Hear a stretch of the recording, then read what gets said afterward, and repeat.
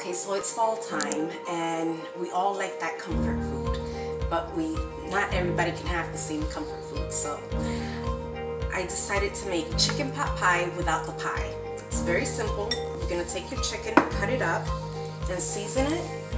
And I used about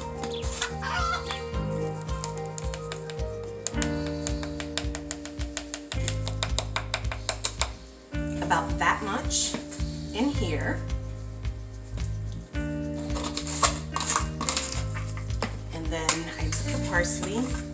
And these are the only two ingredients that are in here.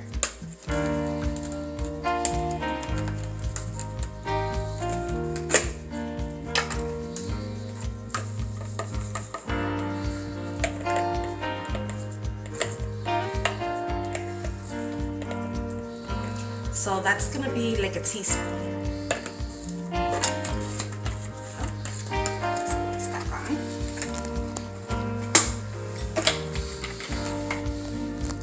Now we're gonna get this cooking. I'll show you where I put it in.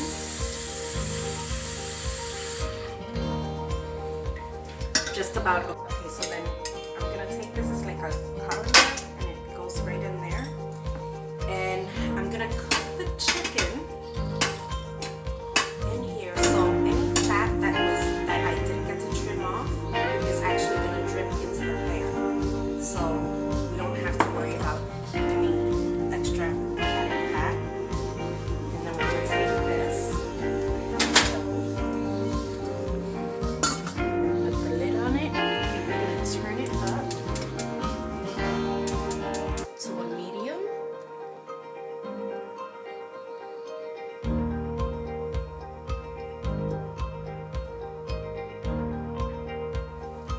Turn it up to a medium, and this will create a vacuum seal.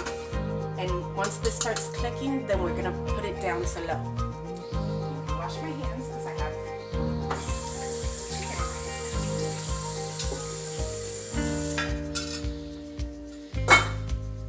One can of evaporated milk,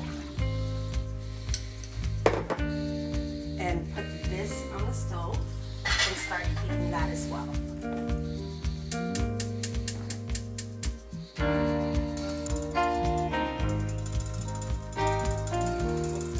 Oh, it's boiling over. It's Oh. boiling over. There we go. Okay. So now we want to take that. So you put the cornstarch in the milk. yes. And see how that just And do you keep the temperature at the same? no. Now we lower Okay. it. Okay. We're gonna put it on on low. Because now we have that done. Let's Wow, that in- thickened up fast. Yeah. And put a can of peas and carrots because now mind you, um, you can always use frozen peas and carrots, which is nice to use. But if you're in a pinch and you don't have time, you just throw it in.